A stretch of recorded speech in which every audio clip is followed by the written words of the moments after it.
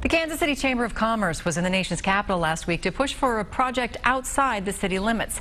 The National Beacon Agro, Agro Defense Bio and Agro Defense Facility in Manhattan, Kansas is not funded in the president's budget proposal.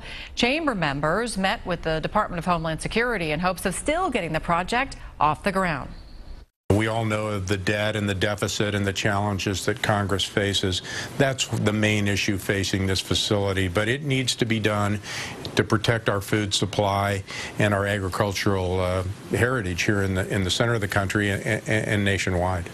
Now, lawmakers on both sides of the state line say they're fairly sure the project will eventually be completed.